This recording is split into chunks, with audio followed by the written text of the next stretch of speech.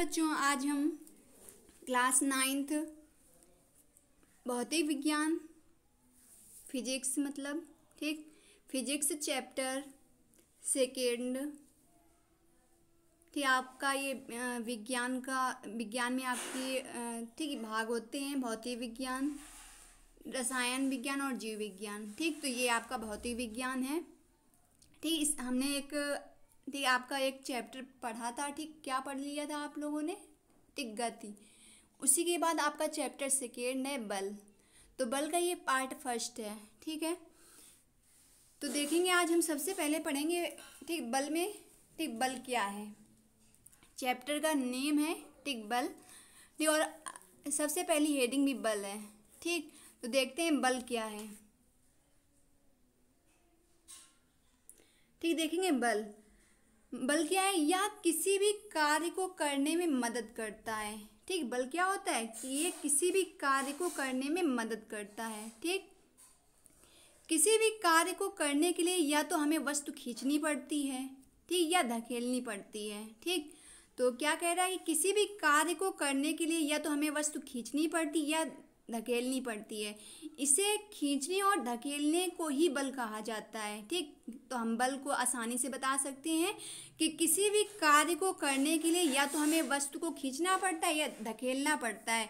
तो इस खींचने और धकेलने की प्रक्रिया क्या होती है? बल कहलाती है। ठीक, जैसे हम एग्ज़ाम्पल ले रहे हैं कि दरवाजे को खोलने के लिए या तो दरवाज़ा खींचा जाता है या धकेला जाता है। ठीक क्या होता है? इसमें भी क्या होता है? बल लगता है, ठीक? दरवाजे को खोलने के लिए और या तो दरवाज़ा खींचा जाता है या धकेला जाता है, ठीक? तो इसमें हमारा क्या लगता है? बल लगता है।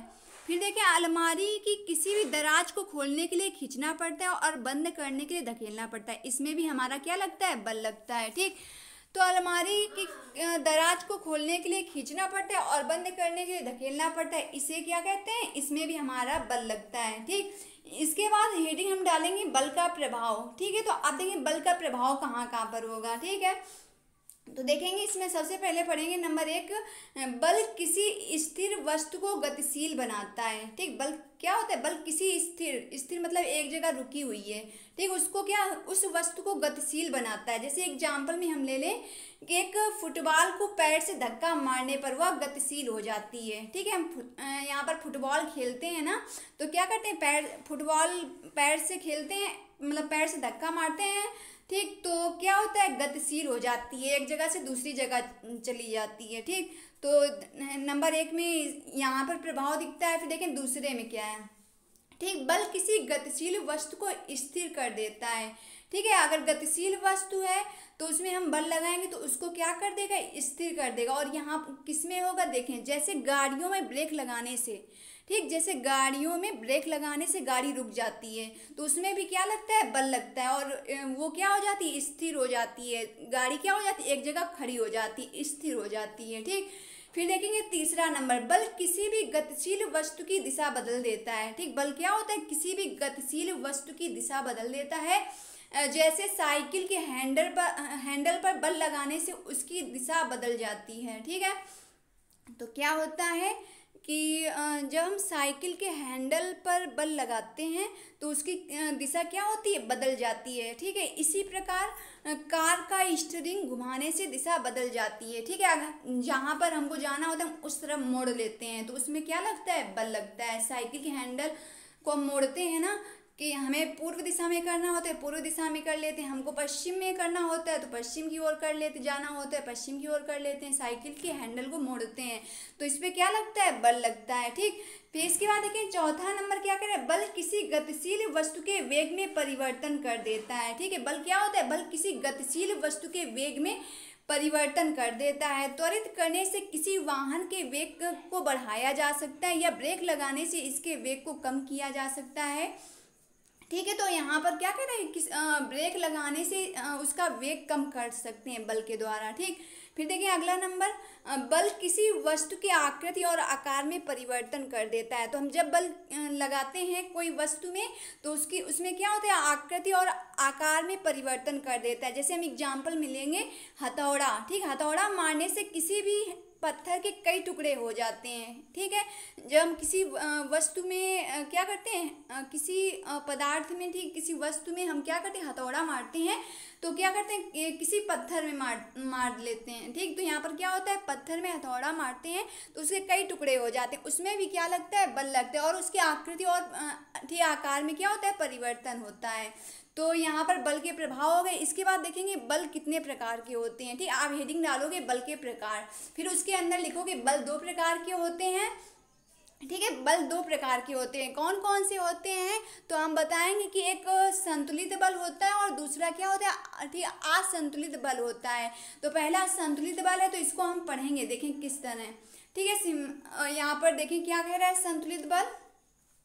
ठीक है बल संतुलित कहे जाते हैं तो कौन से बल? ठीक, जब वे एक दूसरे को निष्प्रभावी करते हैं। ठीक है?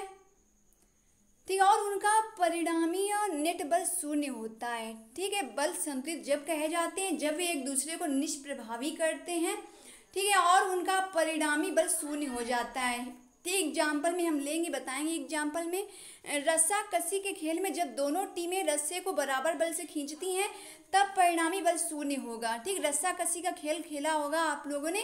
ठीक, उसमें क्या होता है कि टीम, क्या होता है, जब दोनों टीम रस्से को बराबर बल से खींचती है, ठीक, एक टीम बीच में रस रस्सी ले लेंगे, ठीक, और कहेंगे कि तुम अपनी तरफ़ खींचो और तुम अपनी तरफ़ ग्रुप दे दिया जाता है, ठीक, और जो जीतेगा, ठीक, उसको इनाम मिलता है। तो देखिए यहाँ पर क्या होता है, यहाँ पर बताया जा रहा है कि रस्सा कसी के खेल में जब दोनों टीमें, ठीक रस्से को बराबर बल से खींचती हैं, ठीक है, दोनों टीमें क्या होती हैं, रस्से को बराबर बल से खींचती हैं, तब परिणामी बल शून्य होगा, ठीक है, और दोनों टीमें अपने स्थान पर स्थिर बनी रहती हैं, ठीक, दोनों क्या करती हैं, बल बराबर लगाती हैं तो क्या होता है कि उसमें क्या होता है, एक वो स्थिर बनी रहती है, ठीक है, ठीक, उसका परिणामी बल क्या होता है, शून्य होता है, दोनों तरफ़ क्या होता है, शून्य होता है, इसके इसके बाद देखें इस दशा में दोनों टीमों द्वारा रस्सी पर लगाया गया बल संतुलित बल है, ठीक है? दोनों टीमों द्वारा रस्सी पर लगाया गल लगाया गया बल यहाँ पर क्या है? संतुलित बल है, ठीक है? फिर देखेंगे इसके आगे क्या है? संतुलित बल किसी भी वस्तु की अवस्था में परिवर्तन नहीं लाता है, ठीक? क्या कहता है? कि जो संतुलित बल होता है, किसी भी वस्तु की अवस्था में परिवर्तन नहीं लाता है, क्योंकि क्योंकि यह बल समान परिमाण का होता है, परंतु विपरीत दिशाओं में होता है, ठीक है? तो क्या कहता है कि यह बल समान परिमाण का होता है, परंतु विपरीत दिशाओं में ठीक होता है? तो देखें यहाँ पर क्या ठीक आगे क्या कह रहा है? कि संतुलित बल किसी भी वस्तु की आकृति और आकार में परिवर्तन कर देता है। ठीक, संतुलित बल जो होता है तो वो किसी भी वस्तु की आकृति और आकार में परिवर्तन कर देता है। जैसे एग्ज़ाम्पल में हम लेंगे फूले हुए गुब्बारे पर अगर दोनों दिशाओं से बल लगे तो गुब्बारे की आकृति एवं आकार दोनों में परिवर्तन हो जाएगा। क्या कह रहा है? जो फूला हुआ गुब्बारा होता है, उसमें क्या होता है कि दोनों दिशाओं में अगर बल लगाया जाए तो गुब्बारे की जो आकृति एवं आकार होता है, दोनों में क्या हो जाता है? परिवर्तन हो जाता है। ठीक? फिर देखेंगे आगे। क्या है? अगली हेडिंग देखेंगे। तो अगली हेडिंग है हमारी असंतुलित बल। असंतुलित बल क्या है? जब किसी वस्तु पर लगे अनेक बलों का, ठीक? जब किसी वस्तु पर, ठीक, लगे अनेक बलों का परिणामी बल शून्य नहीं होता है तो उस बल को असंतुलित बल कहा जाता है। तो असंतुलित बल निम्न प्रभाव द्वारा देख सकते हैं इसको हम। तो कैसे देखेंगे? किसी भी स्थिर वस्तु को गतिशील कर देता है, जो ठीक असंतुलित बल होता है, ठीक है, वो क्या करता है? किसी भी स्थिर वस्तु को, जो एक जगह ठहरी हुई होती है स्थिर वस्तु, ठीक, उसको क्या कर देता है? गतिशील कर देता है, ठीक। फिर क्या करें किसी भी गतिशील वस्तु के वेग को बढ़ा देता है, ठीक है तो क्या करता है, किसी भी गतिशील वस्तु के वेग को बढ़ा देता है, जो चल रही होती है वस्तु तो उसका जो वेग होता है, उसको क्या कर देता है, बढ़ा देता है, ठीक? किसी भी गतिशील वस्तु के वेग को कम कर सकता है, ठीक? कोई गतिशील तेज़ी से, जैसे साइकिल, जैसे मोटरसाइकिल, ठीक है, गतिशील जा मतलब जा रही है तो उस क्या करता है, अगर ये असुंदित बल क्या होता है कि वेग को कम कर सकता है। फिर इसके बाद देखें, किसी भी गतिशील वस्तु को स्थिर बना देता है। ठीक है, किसी भी गतिशील वस्तु को स्थिर बना देता है। फिर आगे देखेंगे, किसी भी वस्तु की आकृति एवं आकार में परिवर्तन कर देता है। ये भी क्या करता है कि किसी भी वस्तु की आकृति एवं आकार में परिवर्तन कर देता है। ठीक, फिर देखेंगे इसके आगे हम, ठीक है, इसके आगे हम पढ़ेंगे।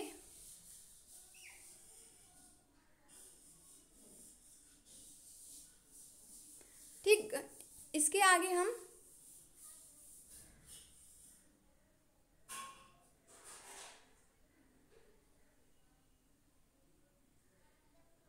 पढ़ेंगे क्या कह रहा है न्यूटन के गति के नियम, ठीक है तो यहाँ पर क्या है? शायद इसके बाद यहीं तक है।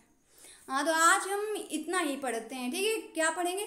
आज इतना ही पढ़ते हैं, संतुलित बल क्या होता है और असंतुलित बल क्या होता है, इसके प्रकार हमने पढ़े, ठीक? तो आपको क्या करना है कि सेकेंड चैप्टर है आपका, ठीक? भौतिक विज्ञान का तो इसको आपको कर लेना है। इसी के आगे हम, ठीक, अगली क्लास में इसी के आगे अध्ययन करेंगे, ठीक? Thanks class thanks for watching this video